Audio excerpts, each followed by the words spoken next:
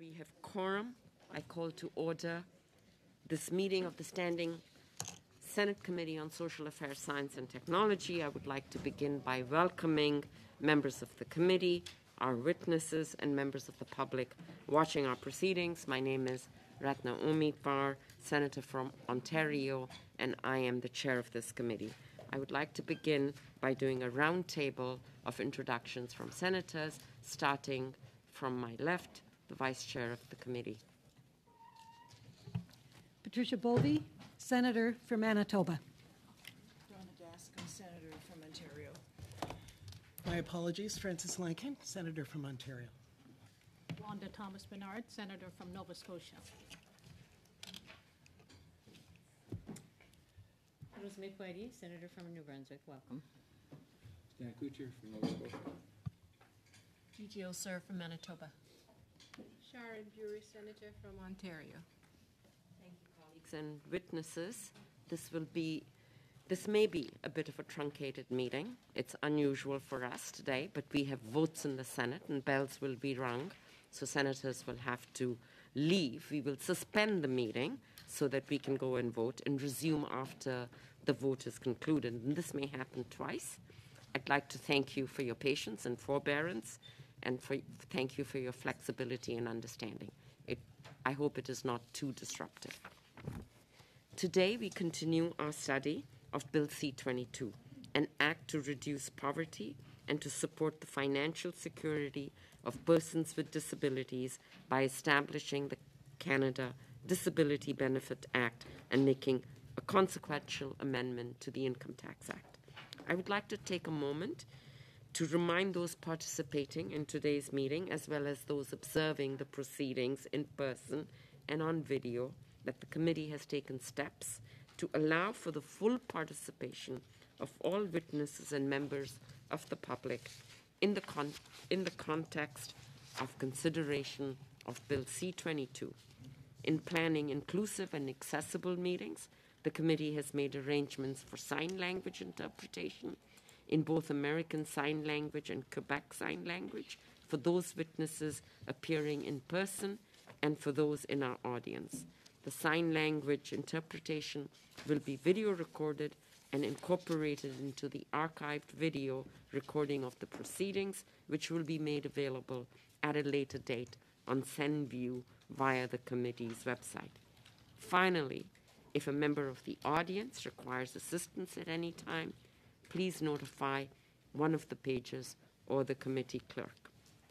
Joining us on our first panel is David Kron, Executive Director with Cerebral Palsy Association of Manitoba, Jenel Shaw, Executive Director with Arts Accessibility Network Manitoba, Sid Frankel, Associate Professor, Faculty of Social Work at the University of Manitoba, and by video conference from Kickstart Disability Arts and Culture, Jenna Reid, Artistic Director, and Kait Blake, Administrative Director. In the interest of being efficient with our time today, Ms. Shaw and Professor Frankel have kindly provided opening remarks in writing, which were shared with the members in advance of the meeting and will be distributed in, in the room. We will begin with opening statements from Mr. Kron and Ms. Reid, following which I will give Ms. Shaw and Professor Frankel time to respond briefly before we proceed to questions from senators, if you wish to. I remind Ms. Kron and Ms. Reid that you will each have five minutes for your remarks. Mr. Kron, the floor is yours. Thank you very much, Senators, for this opportunity to present on Bill C 22, the Canadian Disability Benefit. My name is David Kron, and I am the Executive Director of the Cerebral Palsy Association of Manitoba. As part of my duties as Executive Director, I sit on several different community committees that deal with both poverty and disability. I am the President of the Social Planning Council of Winnipeg and in the disability community, I am a member of the Disability Matters Vote Steering Committee and sit on various other coalitions.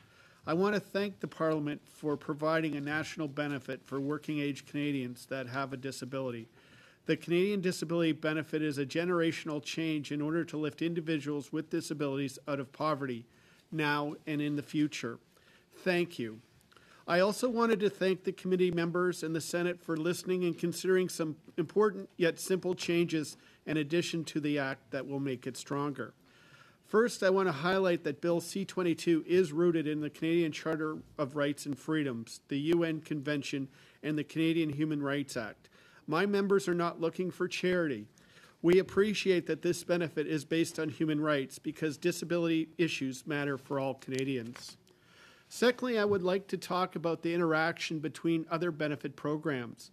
The Manitoba Court of King's Bench found in 2022 that between 2005 and 2018, Manitoba clawed back more than $330 million in children's special allowance benefits from indigenous, children in the Child and Family Services system.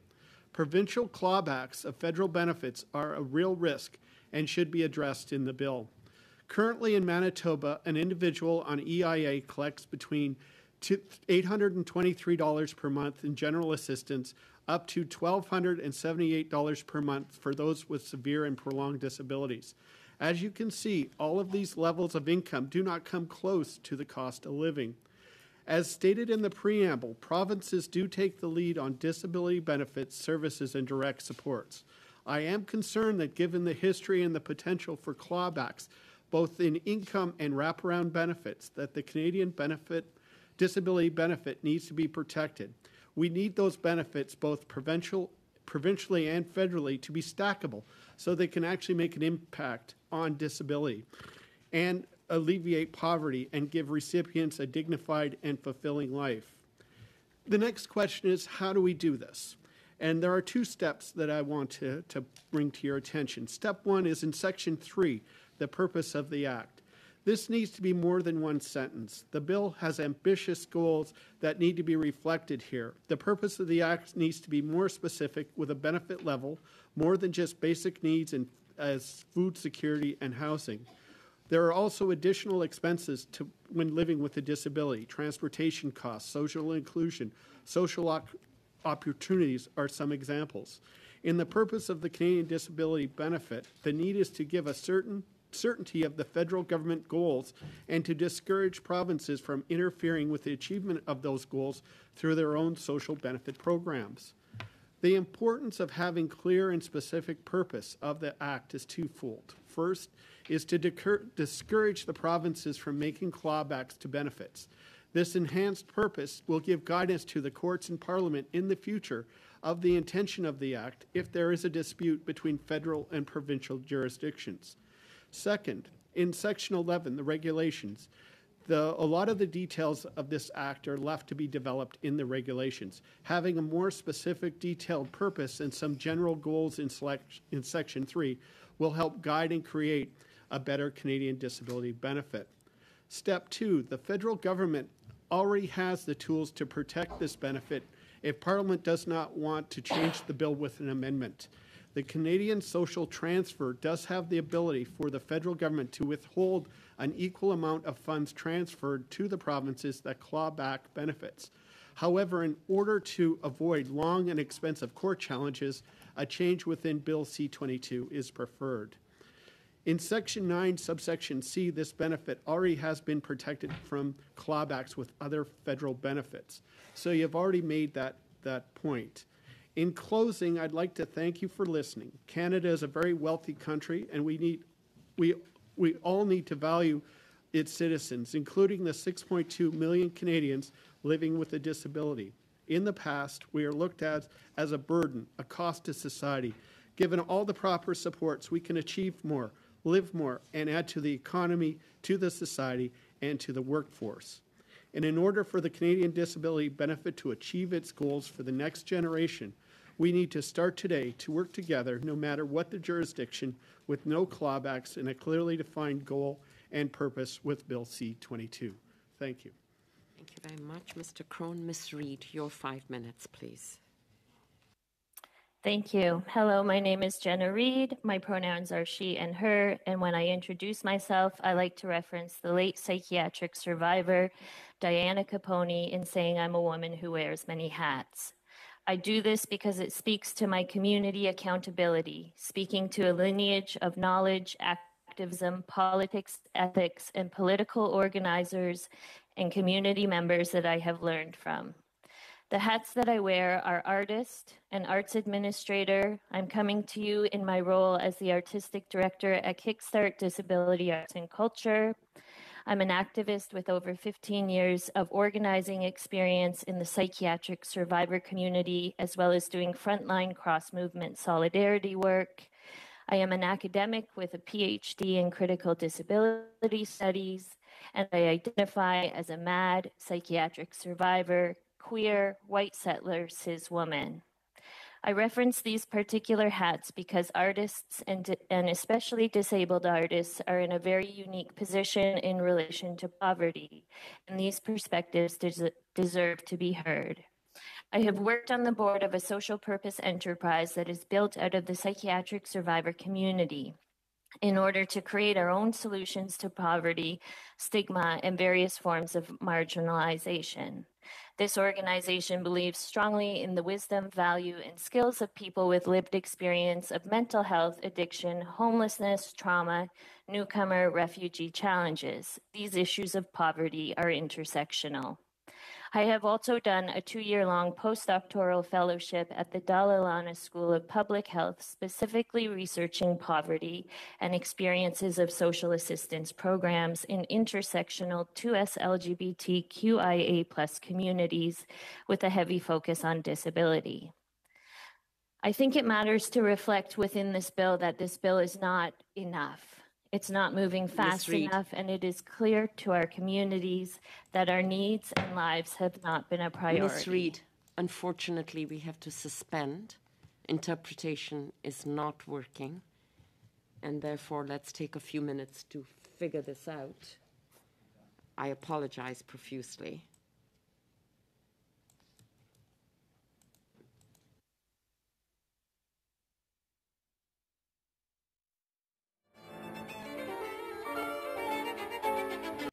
Colleagues and uh, presenters. Uh, we've had a little bit of a change of musical chairs here, and uh, our chair has asked me as deputy chair to take over chairing the balance of this afternoon's discussion.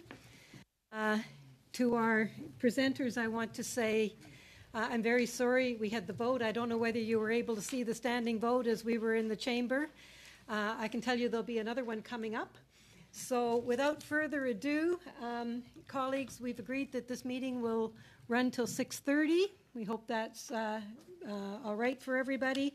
Uh, there will be no steering meeting following this meeting, and uh, we will continue.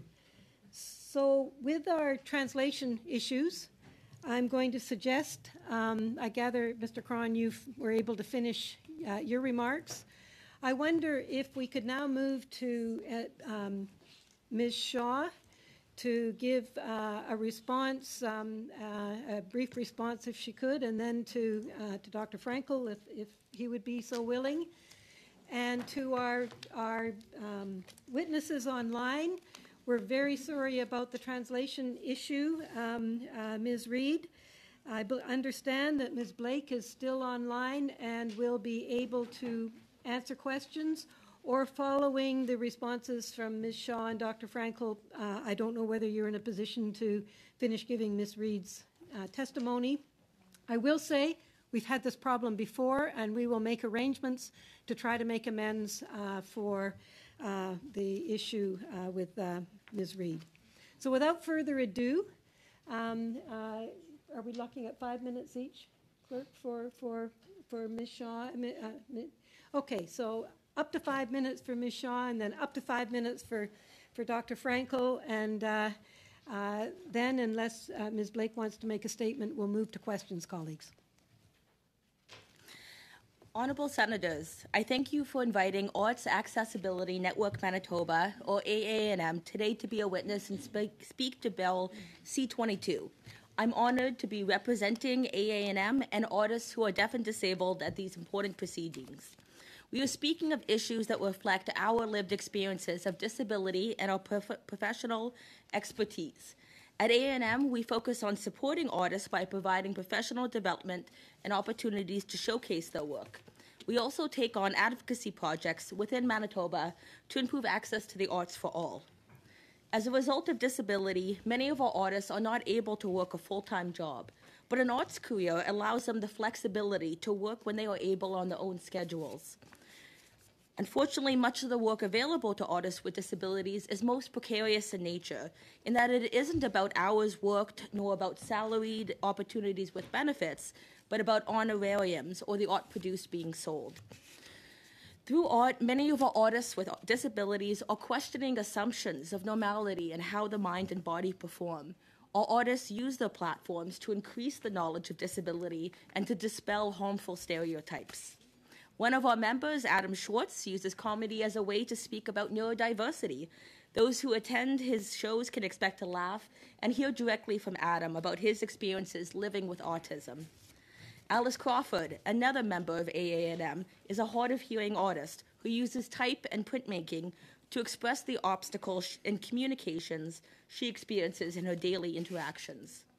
While many of our artists are working to improve their lives and the lives of others in the disability community through their important work, they live in poverty and struggle to make ends meet. It can be difficult for our artists to reach their full potential with the stresses of poverty and the lack of accessible and affordable spaces for them to do their work. It's also important to note the hidden or extra costs of disability which affect the community. For example, some folks need non prescription medication, pre cut food, or aids that are not or only partially covered. These additional costs force those with disabilities to pay out of pocket or go without these important supports.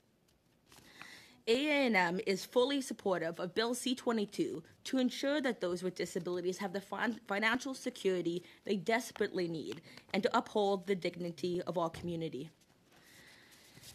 Um, the impact of a national disability benefit would, afford, would allow our community to afford the basic necessities to ensure their health and well being and to help cover the hidden costs of disability.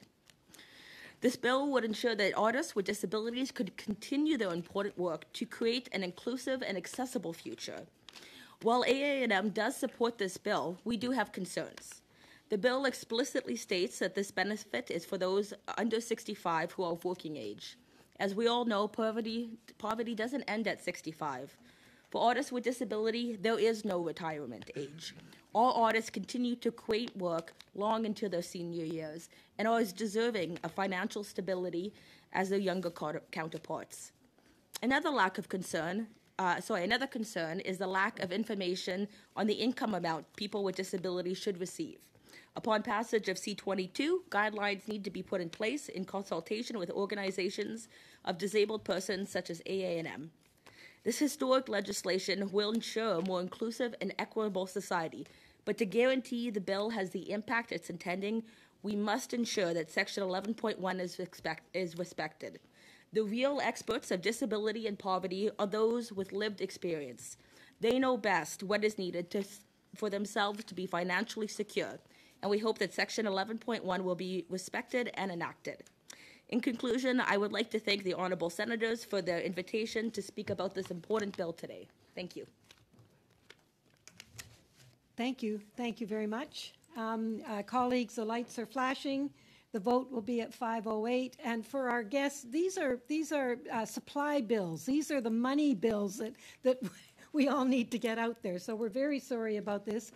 Um, uh, Dr. Frankel, we have time for you to make an intervention.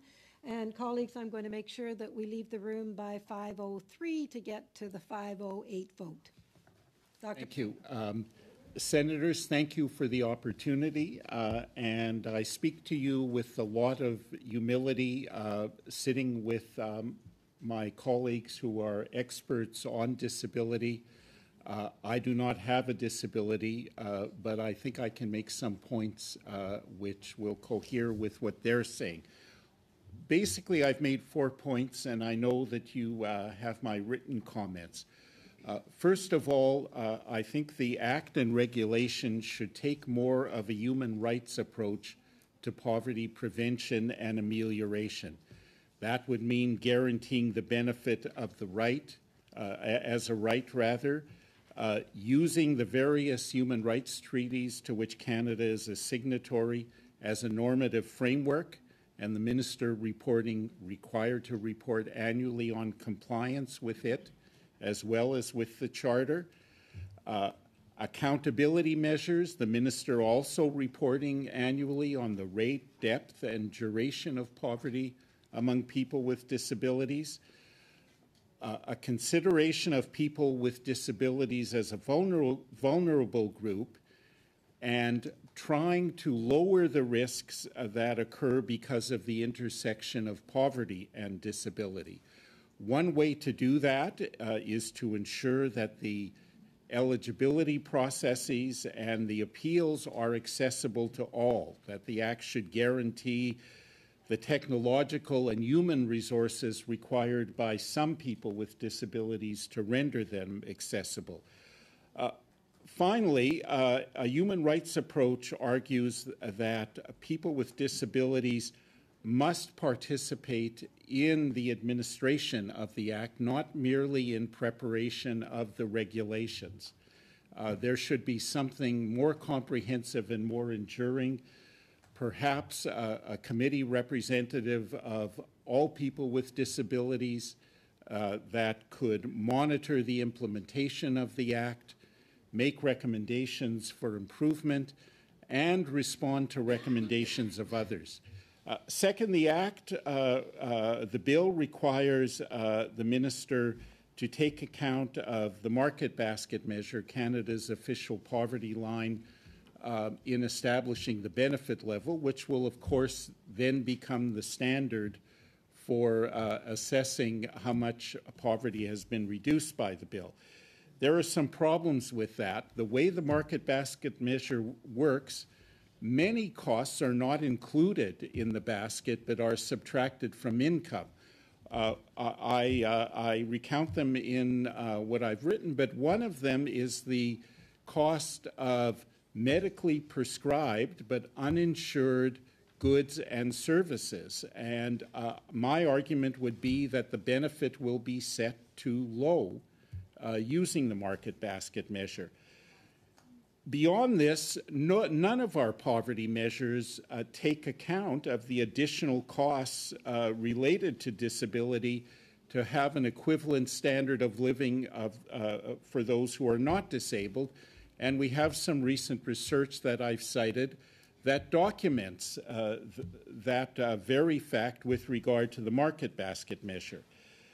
I'd recommend an adjusted low income measure.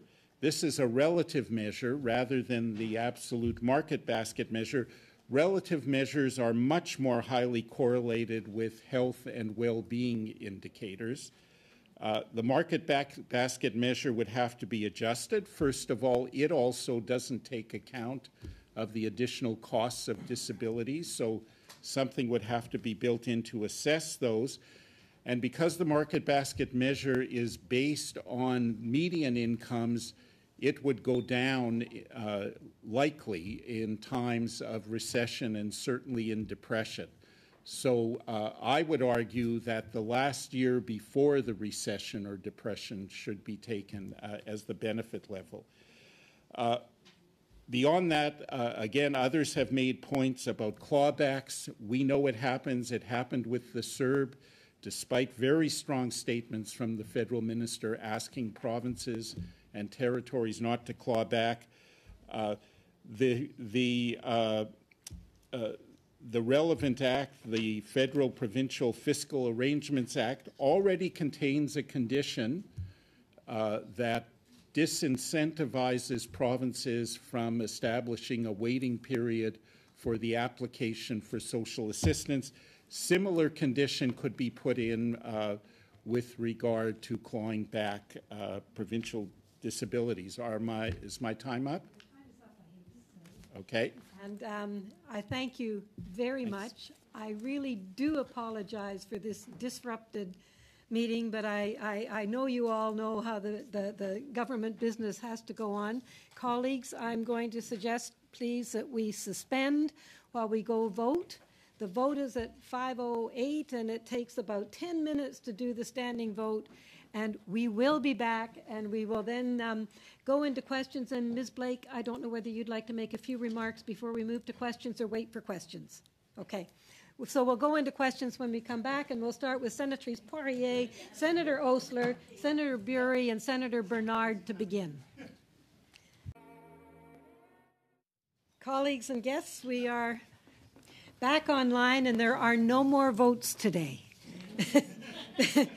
the chamber either has risen or is about to rise uh, uh, momentarily, so we will carry forward uninterrupted. Um, uh, colleagues, as I said earlier, uh, our meeting today will go to 6:30. We'll keep this panel going till 20 to 6 and that um, uh, the second panel will be from 20 to 6 to, um, sorry, 20, yeah, 20 to 6 to 6.30.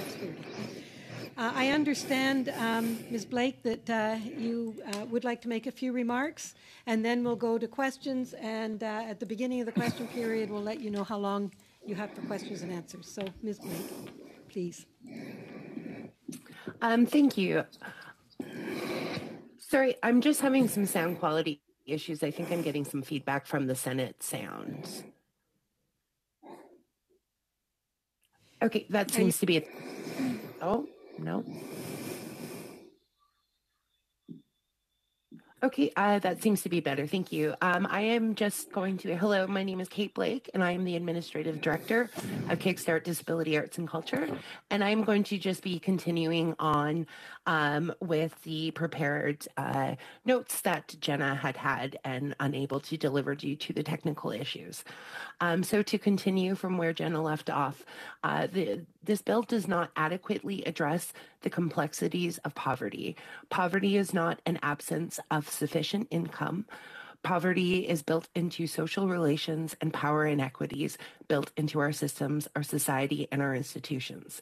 This bill does not address the sheer inaccessibility of the social assistance programs and the system and institutions, and does not attend to the discrimination and violence disabled people face within them. Uh, it does not account for how many are excluded or not adequately served, let alone the fact that it is dispor- dispor- disappointingly minimal in goal the reduction of poverty still leaves our communities in dismal conditions. Um, Jenna approaches this feedback from a point of an incredible privilege of being white, growing up in the upper, uh, middle upper class, and having a PhD in critical disability studies. And even though those in within those pieces, um, nothing in how Jenna and Kickstart was invited to, to come the, to this table adequately supported in giving the type of meaningful feedback, as in every step of this process has been inaccessible from our point of view as disabled people. Nothing about us without us would mean that we take meaningful change in this bill at all stages. And currently, we do not see how that has been built into this process. Um, but surely you all know this. Um, you have been told this, and you are able to understand that this is the very way that it is designed to go with a lot of performative inclusion when knowing that inclusion means that your table is set, dressed, and ready for service. And the best you might do is put a coaster under one leg to say, slightly improve the wobbles in a superficial way the best that I, on behalf of Jenna and Kickstart, can say to you is that we don't see any meaningful attention given to the needs unique to disabled artists, the experience of the gig economy and unstable work, and the dismal ways in which disabled artists and arts administrators are funded and resourced.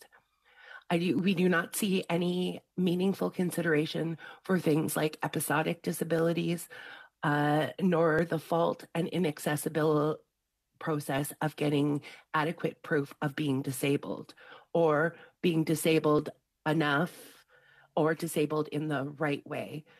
Uh, there is no accounting for the influences of racism and anti indigeneity in our frame of disability rights as well. And all of this to say, is that to reduce poverty, we need to consider more than just the impact of insufficient income. Do, need, do we need more money? Yes. Will that fix the issues uh, in inequity? Absolutely not. um, that is the end of my statement. Thank you. Ms. Blake, I, I want to thank you very much on behalf of the committee, and I'd like to thank all our presenters on behalf of the committee. Um, colleagues, we have a little more than um, 15 minutes, so may I ask each of us to have uh, three minutes for a question and answer, and if we've got time, we can do a second round. And may I suggest that if I know sometimes we repeat questions and dig deeper, may I suggest, in the interest of time, uh, we try to ask different questions to the best of our ability. Uh, so, Senatrice uh, Poirier, followed by Senator Osler, please. Thank you. Thank you all to all the witnesses for being here. And uh, again, apologies for all the, the different changes that we had to go through uh, during it. My question is for uh, Professor Frankel. Um, in your remarks, you recommended the Act should require an appeal mechanism and guarantee that appellants be provided with resources to support filing and arguing uh, their appeals. Applying for disability supports and appealing decisions is often heavy. Uh, given your experience, I'm wondering is there a Canadian or an international example of jurisdictions that's doing a good job of supporting people with disabilities through that process? What should we be looking to, and do you think the benefit? Do you think that this benefit should be based on individuals or family income? Okay. um, a few questions. Um, uh, I'm not aware of, uh, you know, the effectiveness of various uh, approaches uh, uh, to uh, to appeals. but I do know, and I think my colleagues can also speak to it, that the support that is available for the appellant is important. And for example, when it comes to uh, employment insurance appeals, there is some support uh, available. Um, uh, but I think that's worth looking into, and it's uh, given me a good idea to look at where there are uh, where there are effective appeal mechanisms. Um, the general approach in Canada in almost all benefits is to focus on household income. Um, and uh, the issue, uh, there, there's really two issues there. One is what income is taken into account in providing the benefit. The other uh, issue is who actually receives the benefit. So uh, I think it's been our tradition that household income is taken into account. It's based on the assumption that all household members have access to the benefits. Um, but I think the person with the disability should be the actual recipient of that income, not, not a household head if it is not the person with the disability. In your research in the next little while, you come up with an idea. Could you please send it to the, the clerk? Because that will really help inform our work. Do I have 30 seconds left? Uh, you got 10? Okay. If you were to make an amendment in C22, what would you make? Um, I think I would, uh, I would think that the most important is to have a more uh, enduring and comprehensive way for people with disabilities to be involved. So I would require something much more than being consulted on the uh, regulations, although that is important.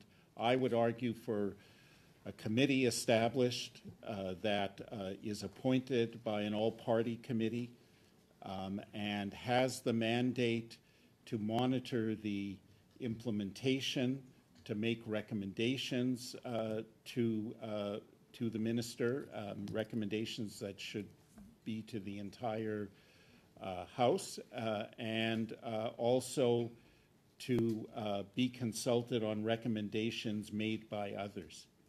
Thank you. Thank you. Uh, Senator Osler, Madam- followed by Senator Burey. Thank you, Madam Chair, and thank you to all of the witnesses for your thoughtful testimony. Um, I'll, I'll have a few quotes. So, Ms. Blake, you were talking about social relations and power. Um, Dr. Frankel and Ms. Shaw, you spoke of financial security and poverty reduction.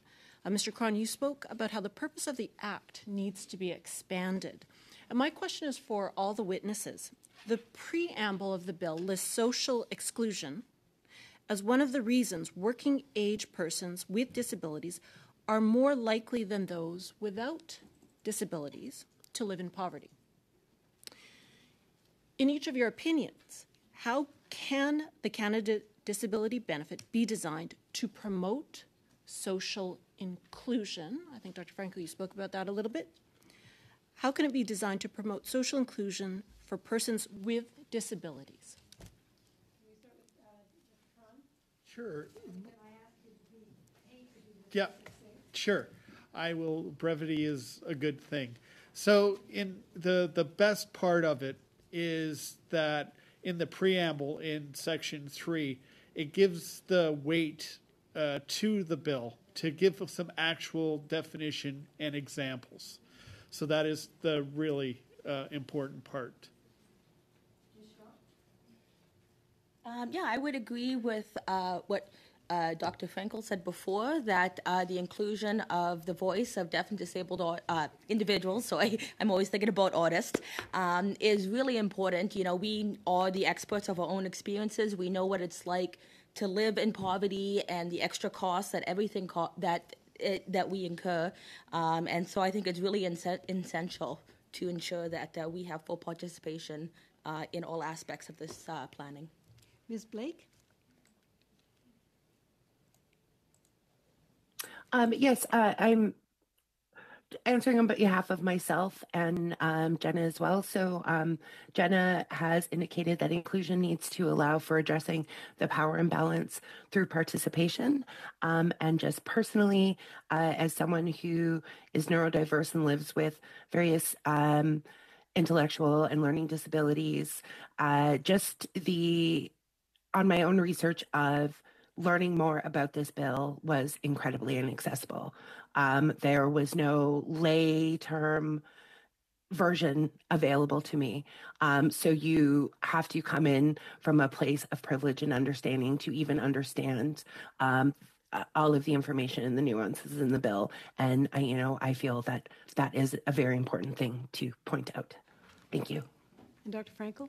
I think the act should uh, describe the benefit as a right or entitlement uh, so that it does not carry the stigma of more contingent benefits like welfare. Thank you. Um, thank you all. Um, uh, uh, Senator Burey. Thank you to our witnesses. Thank you so much for sharing your experiences and your expertise. I'm going to um, just hone in on this issue of legislation versus, versus regulation and the permutations in between. We have heard from many witnesses who have one view let's get this bill passed, don't, no amendments, it's going to die. So, you know, knowing that the majority of the Canadian Canada disability benefit would be established through regulations, specifically orders in council, while clause 12 of bill C22 establishes parliamentary reviews of the Canada Disability Benefit Act, the regulatory process limits parliamentary review of regulations to the Standing Joint Committee. Now, in your opinion, um, on the majority of the Canada Disability Benefit description um, being determined through regulations rather than legislation, what are the potential advantages or disadvantages? Because we've, we've been hearing the two sides. Uh, to either, to all of the, all I of our, our- our our distinguished is- witnesses. I Is it fear gone our short? time is very tight, so Okay. perhaps we could have um, two people answer this people. one and another two can answer the The next. next, I- okay. I'm really sorry. Thank you, maybe, um, Sure, Mr. if- Grant? uh, Mhm. um, um, I'll be more than happy. So, you know, uh, a, a human right can't be based on good intentions. And the not having clawbacks need to be have the weight of law. Regulations can be changed at any time within council, privy council. So we really need to have those protections within the law or within the social Canadian social transfer. It doesn't necessarily, but somewhere that in the future we need to governments change uh, expectations and we forget why we are here today. And we really need to embed that into law so that we don't have to keep coming back every five years to fight for the same human right that we've already have. But uh, Ms. Blake, would you like to respond to this? No, Ms. Shaw? I'll defer to my colleagues. Dr. Frankel? Just very briefly, I understand the tension. People with disabilities, many are living in terrible poverty right now, and we want to do this right. So I would argue that principles uh, like um, referring uh, to uh, the various human rights treaties that Canada has signed, uh, that should go into the Act, that they should be established as a normative framework. The minister should be required to report on compliance. Uh, Thank you, Senator Bernard, followed by Senatrice Petitclerc. And that, I fear, colleagues, might be the end of the time we have for this panel, given our interruptions. Thank you, Chair. And I don't think I'll, I'll, I don't think there'll be time to get answers to my questions, so I'm tabling the questions, and I'll ask uh, respectfully for a response uh, later if you can. So my, my first uh, uh, question is to Dr. Jenna and Ms. Blake. You have highlighted the complexities of poverty, and you've also talked about the intersectionality of poverty with indigeneity and racism and so on. And so I would like you, if you could, to uh, maybe send us some more of your ideas around what may what may need to be amended in the bill to to uh, ensure that we take account of the complexities of poverty, because many people don't fully understand it, especially that piece around exclusion. My other comment is really about what you've shared in terms of the inaccessibility of these meetings themselves. And I have to say, I want to put it on the record that I feel very embarrassed that we've created a situation where we've invited you here and the, the meetings themselves are inaccessible. And so, if you have specific recommendations for us for how we can do better as the Senate of Canada to be more inclusive, to create conditions where your voices can be heard, I would like to, to hear from you. We would welcome uh, your suggestions. Thank you. So I, I don't want an answer because I know we won't get it now. We don't have the time. But I, I want to invite those responses. Thank you, Chair. Thank you, Senator, and very, very, very good points. Um, uh, Senator Petit, Patrice Petitclerc? Merci beaucoup, Madame la Thank you very much, Chair. and, and thank you, thank you for for for being here. Uh, very quick questions uh, in order to get answers. I'm very curious, uh, uh, Madame Shaw. You talked about the the complexity of being an artist with a disability, and I, I have to admit I, I didn't know much about it, and I don't know much about it. But you did mention the fact that you know it is gig economy. It's honorarium. It's small contracts. So very quick question is uh, in in do you know if the um, art community for and with persons with disability have been part of the consultation up to now um, so that's my first question and my other question may be for uh, mr uh, Kron and if we have time others is um, the bill calls for taking into consideration the poverty line. And what I'm hearing more and more is that this will not be enough. Like we need to go beyond the poverty, like way. I, I'm. That's what I'm. I don't want to put words in your mouth. So, so I would like to hear you about that, but maybe uh, on consultation first. Right. Um, so I'm not aware of any consultations at the moment, but I think it would be very important because it's very difficult for artists when, um, even when they receive honorariums, they uh, they're at uh, there's a chance that if they put that check in their bank, they can get kicked off a disability and brings a lot of stress to our our members. So I think it's really important to be able to, if, if it hasn't already, speak more to artists with disabilities to understand the complexities of going through these different systems we have and how it affects their poverty levels. Mm, thank you. And in speaking with the, the poverty levels, I'm going to defer to Dr. Frankel, but the one thing I am going to say is if you doubled the benefit that people get in Manitoba right now, they're still below the poverty line just to put it in a little context. Mm-hmm. So very briefly, none of the poverty measures take into account the additional costs related to di- disability for an equivalent standard of living to those without disabilities. Something has to be done about that if you're trying to limit disability, uh, poverty among people with disability. The market basket measure has a technical problem, uh, what's not in the basket, uh, and that will lead to setting too low uh, a, a standard.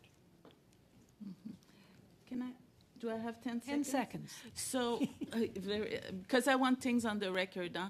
Would you all agree, it- it's a yes or no question, that no matter the disability, living with that disability comes with extra cost? Yes. Absolutely. Thank you. There's evidence of that, yes. Blake, do you agree with that, or do you?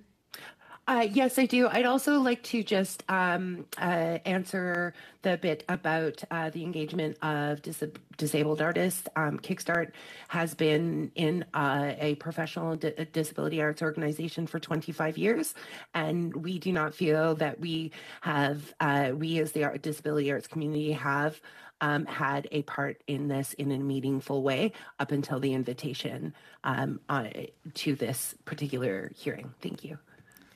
I want to thank you all. Oh, yes. that last question that Senator Pettifer asked. Uh, very briefly, does that change when you hit the magic age of 65? For the record. For the record, yes, you're cured at 65 because your benefits go away. Um, and that's why they need to be stackable. I'll, I'll send the Senate a, a bit more of information so you can consider it.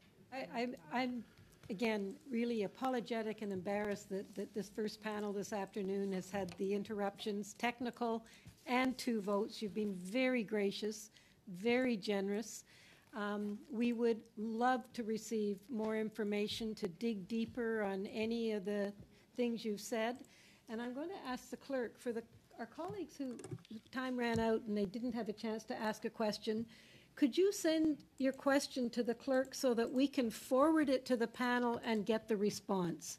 Um, this is this is about inclusivity. It's about getting questions on the table to the best of our ability. So if we can do that, um, colleagues, I'd I'd really be very very grateful. And again, to panel one, thank you for your graciousness, your information, and for coming. And you're welcome to stay and listen to panel number two, uh, which will start in just a minute.